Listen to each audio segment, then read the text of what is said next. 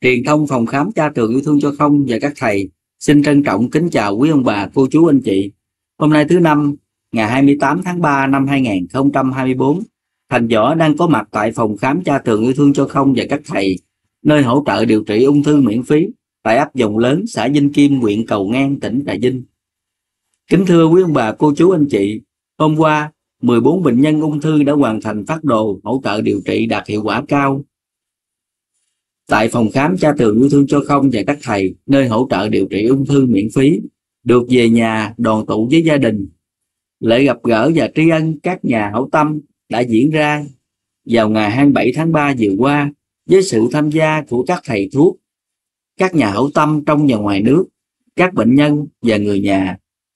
Phòng khám cha tường yêu thương cho không và các thầy, nơi hỗ trợ điều trị ung thư miễn phí là nơi chuyên hỗ trợ điều trị miễn phí cho các bệnh nhân ung thư nghèo. Nhờ sự hỗ trợ của các nhà hảo tâm và đội ngũ y sĩ tận tình, nhiều bệnh nhân đã có cơ hội chiến thắng với căn bệnh ung thư quái ác và trở về với cuộc sống bình thường. Tại đây, mọi người đã gặp gỡ, trao đổi kinh nghiệm với nhau là dịp để các bệnh nhân bày tỏ lòng biết ơn đối với các nhà hảo tâm đã giúp đỡ họ trong suốt quá trình điều trị. Đồng thời, đây là cơ hội để các nhà hảo tâm gặp gỡ và động viên các bệnh nhân, tiếp thêm cho họ niềm tin và hy vọng vào cuộc sống. 14 bệnh nhân được hỗ trợ trong lần này đều là những người có hoàn cảnh đặc biệt khó khăn, họ đến từ nhiều nơi khác nhau trên cả nước. Có người đã phải bán nhà bán đất để chữa bệnh, có người phải vay mượn tiền để trang trải chi phí điều trị, Họ nhờ hỗ trợ của phòng khám cha tường yêu thương cho không và các thầy nơi hỗ trợ điều trị ung thư miễn phí để họ có cơ hội được điều trị miễn phí và chiến thắng căn bệnh ung thư. Tại buổi lễ, mỗi bệnh nhân đã được các nhà hảo tâm trong và ngoài nước hỗ trợ một triệu đồng để trang trải chi phí đi lại. Đây là món quà ý nghĩa, thể hiện sự quan tâm và chia sẻ của cộng đồng đối với những bệnh nhân ung thư nghèo đây là một hoạt động ý nghĩa, thể hiện tinh thần tương thân tương ái của cộng đồng. Hy vọng rằng sẽ có nhiều nhà hảo tâm hơn nữa, chung tay giúp đỡ các bệnh nhân ung thư nghèo để họ có cơ hội điều trị và chiến thắng căn bệnh ung thư. Kính thưa quý ông bà, cô chú anh chị, phòng khám cha trường yêu thương cho không và các thầy, nơi hỗ trợ điều trị ung thư miễn phí, nơi được biết đến với sự cống hiến của các thầy trong sự trong việc hỗ trợ điều trị ung thư miễn phí cho bệnh nhân đang phải đối mặt với nhiều thách thức mới. Số lượng bệnh nhân mới đăng ký xin hỗ trợ điều trị ung thư ngày càng gia tăng. Điều này đã dẫn đến gánh nặng cho phòng khám về các hoạt động thăm khám, tư vấn, hỗ trợ điều trị và chi phí mua gạo, nước, thảo mộc.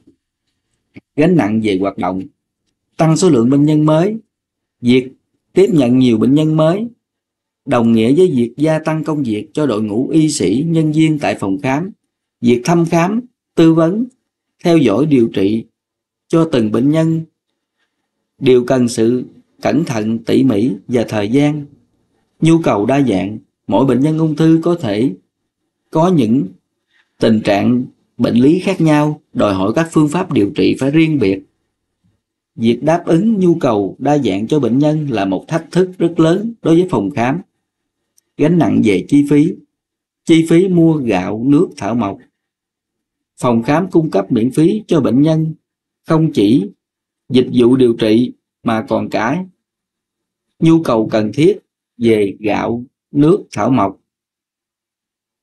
Việc giá cả các mặt hàng này ngày càng tăng khiến cho chi phí hoạt động của phòng khám cũng tăng theo. Chi phí hoạt động khác Ngoài chi phí cho nhu cầu cần thiết, phòng khám còn phải chi phí cho các khoản như là bảo vệ, điện, nước, vật dụng y tế, chi phí duy trì cơ sở vật chất. Lời kêu gọi để có thể tiếp tục duy trì hoạt động và hỗ trợ cho nhiều bệnh nhân ung thư hơn nữa, phòng khám cha trường yêu thương cho không và các thầy nơi hỗ trợ điều trị ung thư miễn phí. Rất mong nhận được sự chung tay giúp đỡ từ cộng đồng. Mọi sự giúp đỡ dù là nhỏ bé nhất, cũng sẽ góp phần giúp đỡ cho các bệnh nhân ung thư có thêm niềm hy vọng trong cuộc chiến chống lại căn bệnh nguy hiểm này. Cùng chung tay giúp đỡ phòng khám cha tường yêu thương cho không và các thầy nơi hỗ trợ điều trị ung thư miễn phí để mang đến hy vọng sống cho những bệnh nhân ung thư. Xin chân thành cảm ơn. Tôi là Đinh Văn Thiệm à, ở Thái Thụy, Thái Bình. À, thì à, vào viện từ à, 25 tháng à, 12 năm 2003 đến bây giờ là được 94 ngày. Ca là từ bị ca tuyến tiền liệt chi căn và xương hai hai năm rồi. Thì vào đến giờ là uh, các thầy 90 ngày là các thầy cho đi kiểm tra. Thì bây giờ là về âm tính. Thì hôm nay là cảm ơn cha cảm ơn uh, uh, chúa và cảm ơn các thầy. Ở trong uh, uh, phòng khám và nhiệt tình giúp đỡ uh, bệnh nhân chúng tôi hôm nay là rất là mừng phấn khởi. Thì uh, trước khi uh, uh, được uh, các thầy phỏng vấn thì cũng xin uh, cảm ơn uh, uh, Chúa cảm ơn cha cảm ơn uh, các thầy để cho uh, chúng tôi được uh, uh, lành bệnh này sửa được lành bệnh này rồi về rồi uh, được sum họp với gia đình. Thì uh, xin uh, cảm ơn phòng khám cảm ơn uh, các thầy. Chú có thể so sánh uh, hồi lúc mà chú vô như thế nào rồi đến thời điểm này ra sao? Vâng thì uh, báo cáo với các thầy là uh, nếu so cái uh, bệnh uh, di căn uh, từ tuyến tiền liệt và xương thì khi ở nhà thì nó đau lắm. Vâng, nó đau và nó buốt hai cái bên hông nó kéo xuống hai bên đùi thế nhưng mà trừ khi vào đây là uống uh, ăn cháo uh, la đô rồi uống uh, thuốc thảo dược. Thế rồi là được các thầy khám uh, chữa từng ngày một. Thì uh, đến giờ là cái phần đau là nó bớt đi nhiều. À, nó chỉ nếu có hôm nào là nó có trở trời thì nó chỉ còn hơi tê tê ở dưới hông thôi. Chứ nó không đau buốt như những cái cơn mà đau nặng ở ở quê hương. À, và, và đến giờ là à, vào đây thì ngoài cái uống thuốc với lại à, ăn cháo thì à, năm chừng mười họa là được các uh, thầy là đưa cho đi châm cứu. Thế thì sau khi châm cứu thì bây giờ là cũng tương đối ổn định về mặt sức khỏe là tuy rằng là nó có xuống cân một tí à, nhưng mà người thì nghe nó khoan khoái nó dễ chịu. Vâng báo cáo thầy vậy rồi có chia sẻ niềm vui mừng ngày không? Vâng. Người chia sẻ thì muốn rằng là à, báo cáo với các thầy ờ, ở phòng là cũng à, nhìn thấy cái thực tế.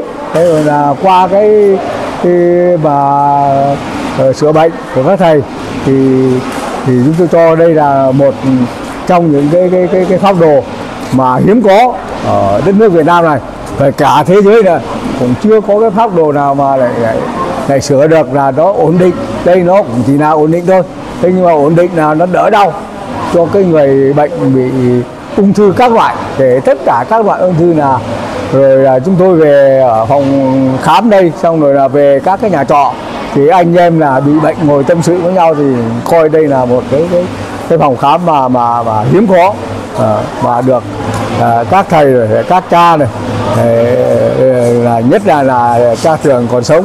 Và để lại cho cái cái cái cái cái, cái phác đồ và điều trị cho các cái bệnh ung thư như chúng tôi thì chúng tôi cảm tưởng rằng là không đâu có mà không thể lấy cái chỗ nào để so sánh với cái cái cái này được.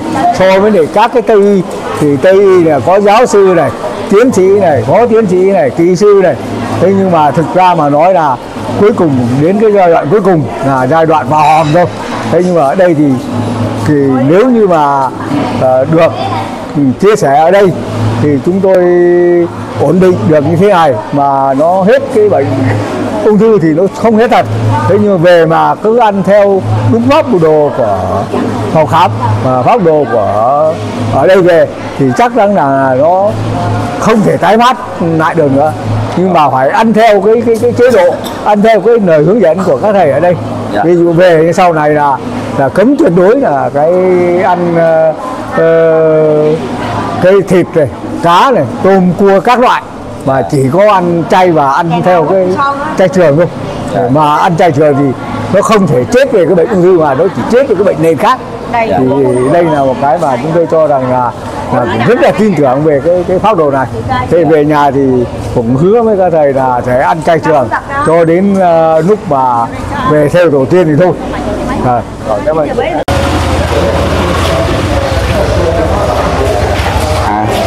thưa chị có thể ờ, cho biết ờ, họ tên với mình đến từ đâu không chị? Dạ Lê, Lê Ngọc Yến. Tên em hả? Tên em là Nguyễn Hoài Thị Tiên. À, ở quê đâu? Ở ờ, thành phố Hồ Chí Minh, quận 3 à, rồi chị có thể cho biết bà ngoại tình hình sức khỏe Bà sao? Ngoại ờ, Triệu chứng đầu. phổi. Ho Ho khó thở. Rồi ờ, đi vô bệnh viện á ờ, Nằm bệnh viện lấy dịch ra. Ừ. lấy dịch ra rồi à, về thời gian được à, 10 tháng với uống, uống thuốc à, đích nữa. uống thuốc chống đích á. Rồi à, mà giờ vẫn ho hoài. Nên biết biết biết thầy xuống đây.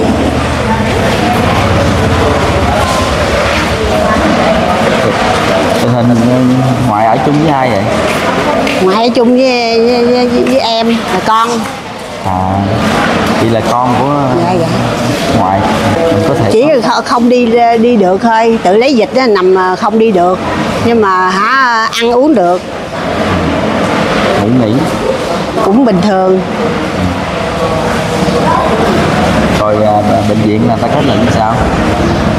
Như vậy là u phổi di căn xương rồi sẽ tư vấn cho mình đi trị sao vậy tư vấn ờ, tự gì nghe đời mổ xẻ rồi nên không mổ xẻ thôi đi về. Về uống thuốc mà sao thấy vẫn ho hoài nên phải đi xuống đây.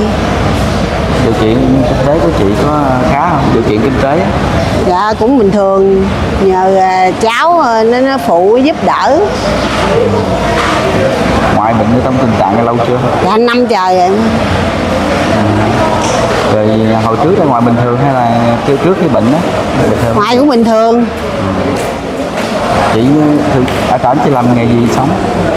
Bây giờ buôn bán ờ, buôn bán á là bây giờ á, bà ngoại nghỉ thì nghỉ luôn bà ngoại bệnh thì nghỉ luôn.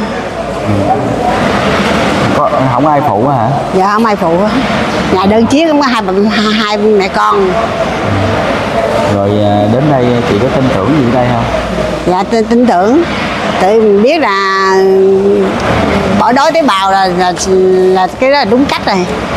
Ăn ăn vận động vật là nó không bao giờ có tồn tại á, thì dễ bị bệnh. Rồi chị với bà ngoại à, thấy phát đồ vậy rồi có giữ nổi không? Dạ giữ nổi. Ăn chay đó. Dạ. Ừ. Nào thì có ăn chay chưa? Em có bà ngoại không có ăn. Ừ. Vậy mà không có ăn được 10 chén em xin hỏi câu đó hồi nào giờ chị biết ừ, cái gì về ở đây? Chị biết coi trên mạng coi trên mạng đó là mình thấy là mình biết. Biết gì cái gì vậy chị? Mình biết cái phát đồ vậy là mình mình, mình biết là thường thường bác sĩ cũng kêu đừng ăn ờ, thịt nhiều thịt đỏ nhiều là cũng không tốt. Mà giờ phát đồ này ăn là mình biết là bỏ bỏ đói tế bào á là ung thư là mình biết ờ, là sẽ hết. Rồi cảm ơn chị. Dạ.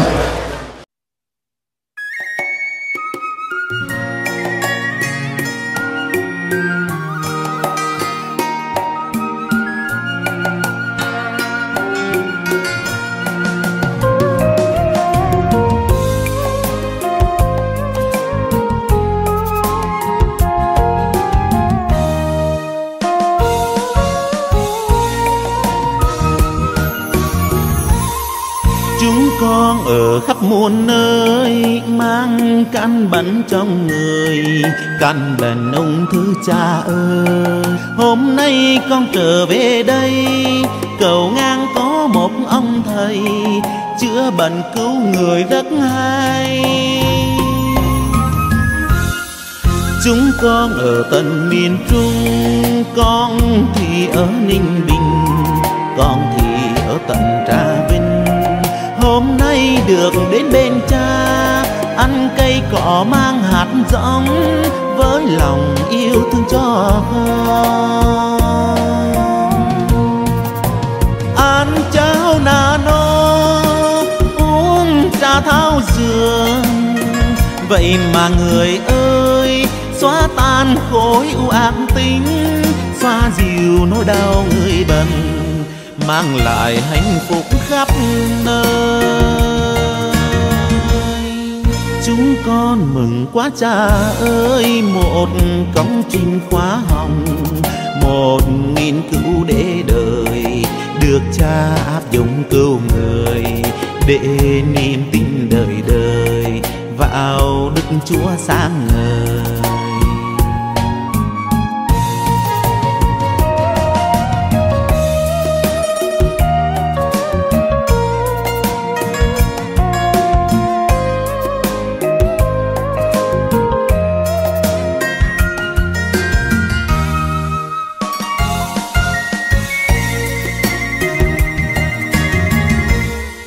Chúng con ở tận miền Trung, Con thì ở Ninh Bình, Con thì ở tận Trà Vinh.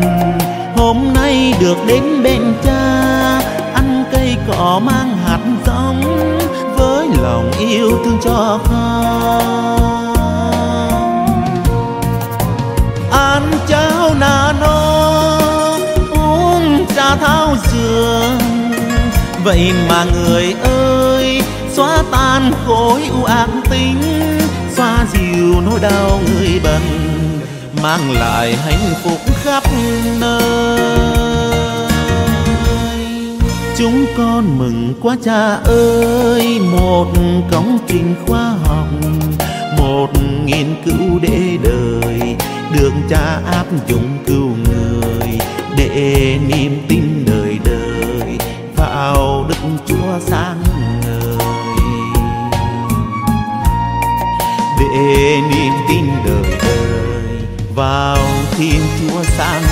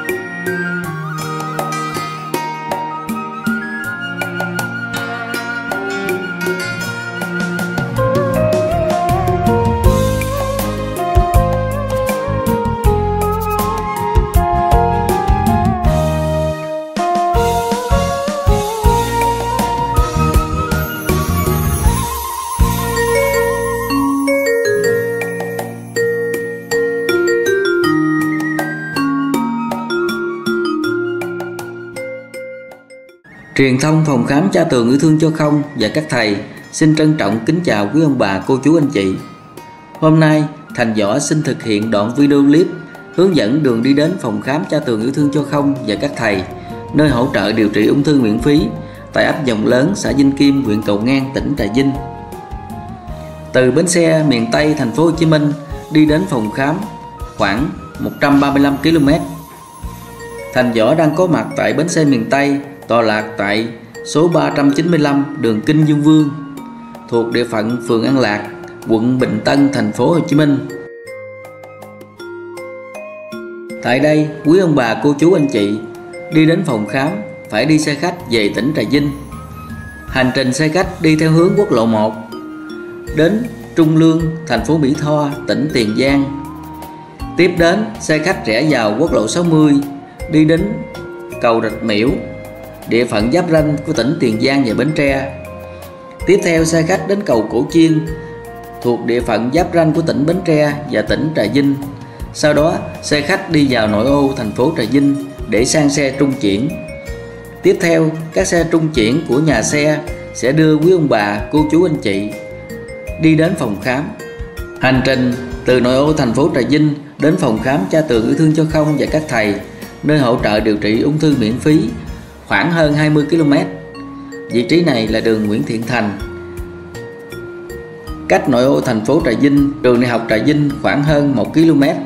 Sau đó quý ông bà, cô chú anh chị di chuyển vào quốc lộ 53. Tiếp theo là đến nhà thờ Phước Hảo. Tiếp theo là đến cổng chào của huyện Cầu Ngang, tỉnh Trà Vinh. Tiếp theo là đến nhà thờ Vinh Kim thuộc địa bàn của huyện Cầu Ngang. Đi khoảng 1 km, quý ông bà cô chú anh chị nhìn bên tay phải là biển báo nhà thờ dòng lớn thuộc huyện Cầu Ngang. Sau đó, quý ông bà cô chú anh chị rẽ trái vào nhà thờ dòng lớn. Đi khoảng 500 mét, quý ông bà cô chú anh chị nhìn thấy nhà thờ dòng lớn nhưng chưa đến nhà thờ. Tiếp theo, quý ông bà cô chú anh chị nhìn phía tay phải có biển báo, phòng khám yêu thương và rẽ phải đi vào khoảng 500 mét. Quý ông bà cô chú anh chị sẽ thấy phòng khám cha tường yêu thương cho không và các thầy, nơi hỗ trợ điều trị ung thư miễn phí. Xin trân trọng kính chào.